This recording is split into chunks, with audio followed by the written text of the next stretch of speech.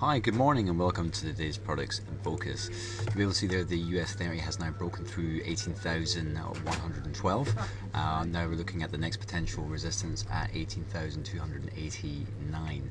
Um, now we actually had a, a, a, much higher value there on Friday, got pushed right back down again. Already this morning we've had a, an attempt to, to push on higher, but it does look that uh, 18112 is going to act as a potential support level, which could be um, an interesting point to, to, to get involved if you think that the uh, US markets are going to uh, benefit from this weaker dollar at the moment. Otherwise, if we break below 18,112, you'd be looking at uh, a level closer to, uh, to 18,000, which would also coincide with that 21 period SMA. Um, most of the technicals are actually uh, neutral, sans the MACD, which got a bullish crossover. And the moving averages, well, the 55 period moving average is quite far away, but it's the 21 that's in, in play right now.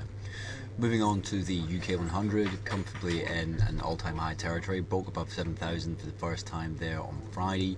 Um, you would really need to get uh, Fibonacci price projections out now to look for the next uh, potential support or uh, next potential resistance level. In fact, if I just go ahead and look for that right now, um, take this point here and look for your for your big breakout. And we could be looking at level, we're actually be quite, quite, quite close to one right now, that would be uh, 7,044 followed by 7150 as the next potential um, resistance levels based on Fibonacci price extensions. So moving on to Japan 225 uh, which is more than halfway now to 20,868 probably 20,000 is going to be the next big level uh, that a lot of the um, financial papers will talk about for Japan dollar yen having reversed course slightly as a dollar has taken its foot off the gas slightly. One 120 uh, as for dollar yen is right now, uh, and uh, as I said, we're not that far away from breaking 20,000. After we do that, 20,860 is the next potential um, support level, resistance level. Sorry, uh, all the technicals are massively overbought but we'll probably get to 20,000 at some point soon. Um, moving on to this dollar yen position, you can see the move that we've had. There's, there's not really a great uh, trading opportunity on dollar yen right now versus some of the other markets where you're still looking at 119 being support, 121.87 being potential resistance. We're trading below the 21 period SMA. 55 period SMA is bouncing around that 119 level, and the other technicals are still relatively neutral, to be completely honest.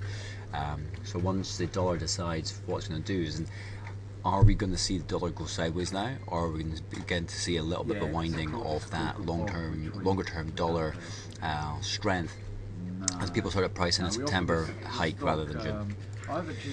So moving on to West Texas crude, more news out uh, over the weekend. Uh, OPEC will not be cutting production alone. Saudis are uh, standing by their position not to reduce their output either. Um, the dollar, the sapping of dollar strength helped to crude oil get a 4% rise on Friday.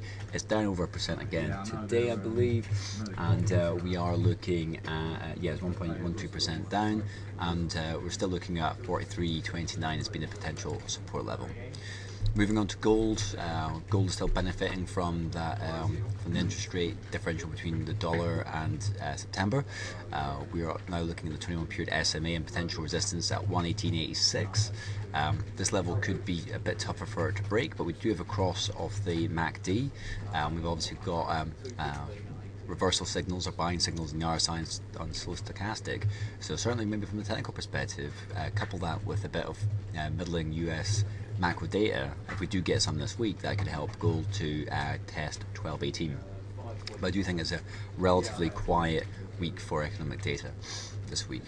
So moving on to euro dollar, uh, it's been all, all over the place, looking like it, it gapped higher uh, this morning. Uh, we're now on the right side of 107.86, just only on that level.